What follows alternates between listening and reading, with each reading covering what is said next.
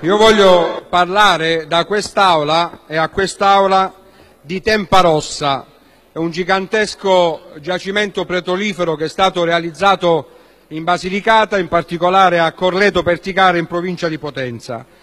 Il Sole 24 Ore lo titola così: Là sotto, a Tempa Rossa, c'è l'ira di Dio di petrolio e di metano.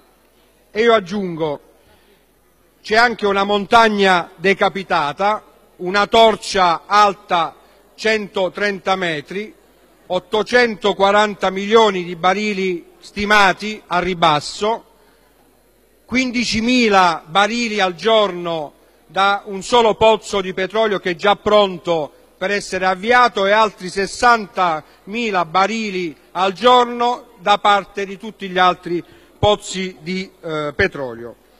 A questo aggiungo ancora i rischi per la salute e per l'ambiente e questo è Tempa Rossa. E nonostante ciò il 31 di ottobre del 2010 200 persone, maestranze, quasi tutti lucani, hanno perso il posto di lavoro.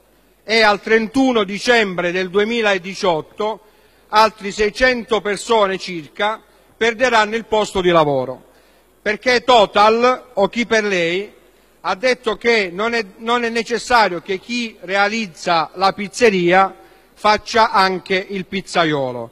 E quindi queste persone, ragazzi che hanno cullato il sogno di rimanere in Basilicata, padri di famiglia che hanno cullato il sogno di dare un futuro ai propri figli, si vedranno costretti, se non cambia registro Total, a perdere un posto di lavoro, nonostante Total abbia assunto l'impegno formale di formare queste maestranze e quindi di avviarle non solo alla costruzione del giacimento petrolifero, ma anche alla gestione del giacimento petrolifero.